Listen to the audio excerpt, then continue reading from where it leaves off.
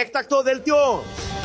Η βυζαντινολόγος ιστορικός Ελένη Γλίκα Τζιαρβελέρ υποστηρίζει ότι τα οστά στη χρυσή λάρνακα της Βεργίνας με το μακεδονικό αστέρι είναι του Μεγάλου Αλεξάνδρου.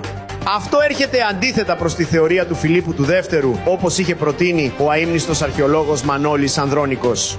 Η κυρία Αρβελέρ αναφέρει επιχειρήματα όπως το ελαφαντοστέινο ομοίωμα του Αλεξάνδρου, η καταγεγραμμένη επιθυμία του για ταφή στον τόπο του, το ύψος του νεκρού, η παράσταση στη Ζωφόρο που απαιτεί προηγούμενη δράση και η έβρεση χουντίτη ορυκτού από την Αίγυπτο στον τάφο.